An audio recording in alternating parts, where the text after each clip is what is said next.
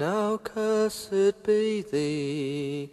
that would ruin our fair land, and cursed be thee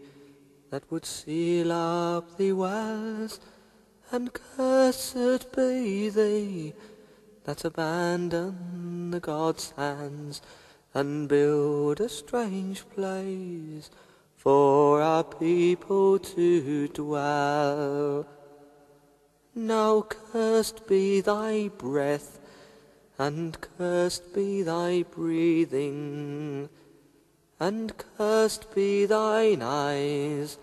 and cursed be thy sight, and cursed be thy hands that have blackened the harvest and closed the old ways to the joy and the light. Now cursed be thy name, all cursed and forgotten, all cursed beyond memory, place, or recall, and cursed be thy soul, out of nothing begotten a thing, to no thing and nothing to all. Now cursed art thee that have ruined our fair land,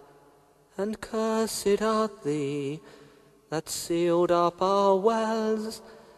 and cursed art thee that abandoned the God's hands,